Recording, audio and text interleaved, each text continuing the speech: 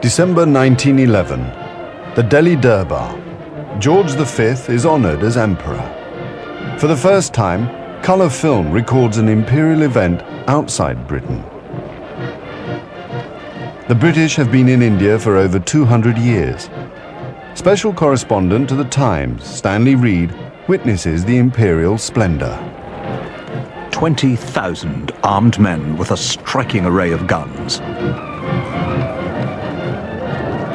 Next, the Imperial Service Troops. The Maharaja of Bikaner takes personal command of his scarlet and white camel corps.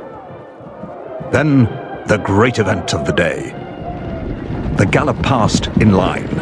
They go by like the wind, not a man unhorsed, not even a helmet shed.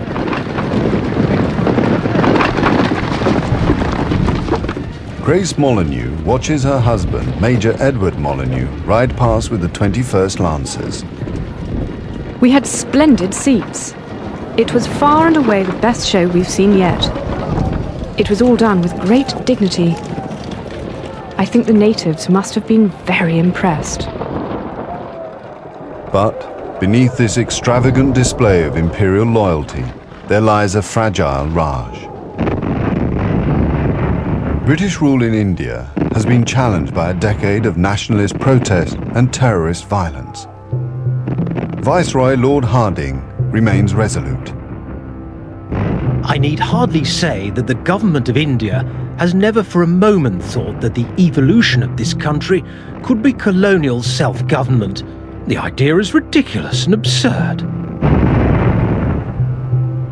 One year later, a Bengali revolutionary tries to assassinate Lord Hardinge. He survives. But it is another warning that British power in India is fading.